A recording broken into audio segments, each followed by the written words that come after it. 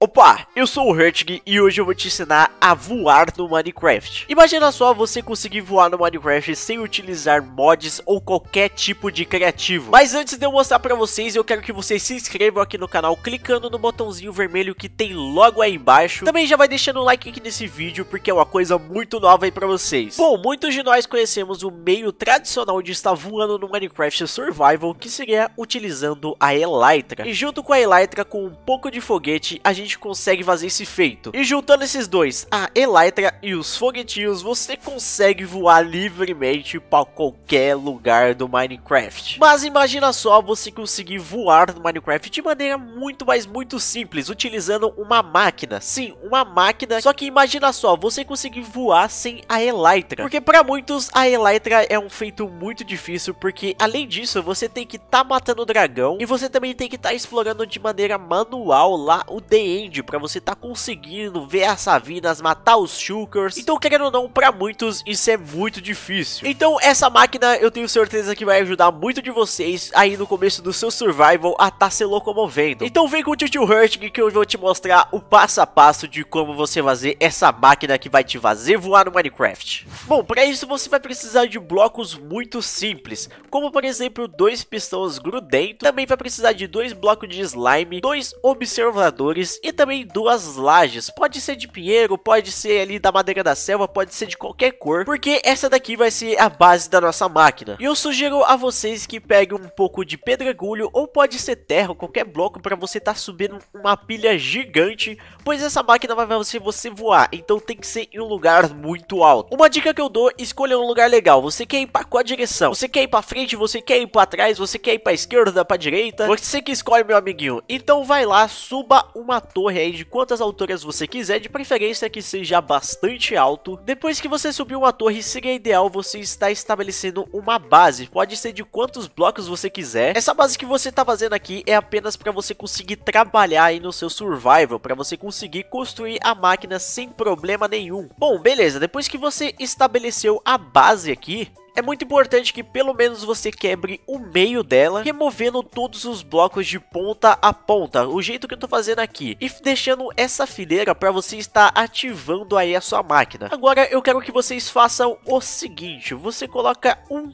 dois blocos e vai colocar um observador virado para cá, ou seja, virado para lá. Depois já pode remover esta partezinha aqui. Bom, depois disso eu quero que vocês puxem um, dois, três, quatro blocos e quebrem esses bloquitos aqui no meio para você colocar outro observador virado para cá. Depois disso é bem simples, você vai utilizar um pistão grudento virado pro observador, desse jeito que eu tô fazendo, e colocar um bloquinho de slime aqui. Depois disso, utilize outro bloco aqui para você você usar de apoio e virado para o lado de cá, você coloca o pistão, dessa maneira aqui que eu fiz. Você já pode destruir esse bloco aqui que ele vai atrapalhar a gente. Depois disso, nada mais, nada menos, você coloca o outro bloquinho de slime. Tá vendo, galera, como é bem simples? Bom, eu tinha falado para vocês que a gente vai precisar de duas slabs, mas pode ser quantas você quiser. Se você quiser colocar a ponta daqui até aquela montanha, você consegue, meu amigo. Porém, eu vou utilizar quatro porque eu acho que a base fica um pouquinho melhor para a gente conseguir e não tem perigo de dar bug. Porque se fosse até dois blocos a gente ficaria aqui e eu acho que tem chance de parar a máquina. Bom galera, nossa máquina está feita. Sim, é basicamente isso daqui. O que a gente vai precisar agora seria colocar um pedregulho aqui nessa máquina. E a gente tem que ser rápido, mano. Então, ou seja, já prepara a sua picareta para você colocar o bloco e já sair correndo aqui para essa base. Bom, agora você tem que ser bem rápido, galera. Você vai colocar o bloco aqui e você vai ver que já ativou. Ai, meu Deus, ai, meu Deus, ai, meu Deus.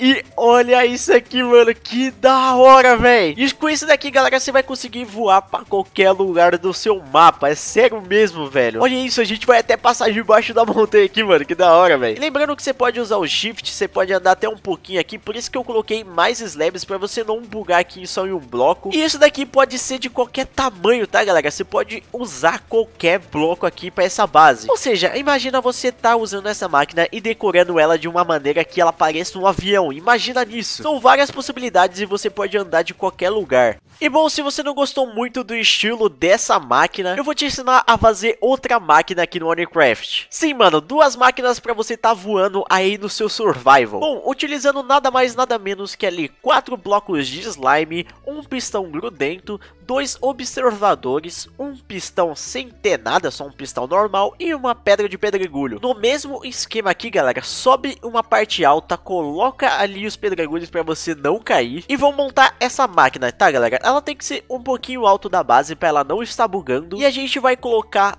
dois slimes assim, desse jeitinho aqui. Pode quebrar esse pedregulho só de apoio. E você vai colocar um observador virado aqui para a parte da frente, tá, galera? Depois disso, você vai colocar aqui um pistão grudento e agora você já parte para outro lado. Utilizando o pedregulho como bloco de apoio, você coloca dois blocos de slime e faz a mesma coisa aqui, colocando o observador virado para cá e agora o pistão nada, o pistão normalzinho. E agora a gente tem finalmente outra máquina. E lembrando galera que essa daqui é uma máquina bem mais simples do que a outra, porém essa daqui não tem um bloco de apoio, ou seja, você vai ter que ficar aqui em cima mesmo. E para ativar ela galera, você tem que colocar qualquer bloco aqui nesse observador. Ou seja mano, a máquina já tá funcionando, meu amigo, olha isso, velho. E o ideal seria você tá sempre andando nessa máquina, por isso que aquela é bem mais funcional do que a outra, porque se você ficar parado nela, olha o que vai acontecer com você. Mas me fala aí, você gostou dessas máquinas que eu mostrei pra você, mano? Se gostou, já deixa o like aqui nesse vídeo pra me apoiar e também pode estar tá me fortalecendo, se inscreve aqui no canal porque me ajuda muito. Eu sempre tô trazendo esses vídeos aqui de curiosidade, sempre de máquina, sempre de 5 hacks de alguma construção ou decoração, então eu espero muito o apoio de vocês aqui nesse vídeo. Mas é isso galera, vai deixando o seu feedback, valeu e fui!